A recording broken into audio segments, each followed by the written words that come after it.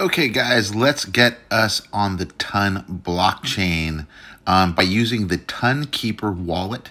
If you go to tonkeeper.com, uh, you'll be able to get over and to the wallet area. Um, you can choose either uh, iOS or Android. I have iOS. Once you have downloaded it, it's a really simple login with a Google. And then once you're inside, this is what the front page will look like to you.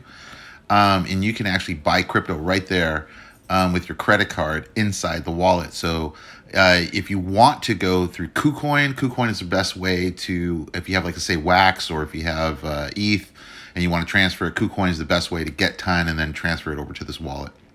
What's nice is that you actually get to see your NFTs in the wallet too. And there's a browser inside as well that takes you to Get Gems and some other apps as well. Get Gems is where all the uh, the projects are right now as far as the NFT marketplace, um, and you'll be able to check them all out there. Um, and uh, of course, there's settings and all that kind of stuff. But you'll be able to see all your transactions and your NFTs here, so I highly recommend it. And then when you go over to uh, Telegram, you can also create a wallet in Telegram if you didn't want to use TonKeeper. Um, just go and DM uh, at wallet in Telegram and you'll be able to set up your wallet just like that right there. So hopefully we see you guys on the Ton blockchain.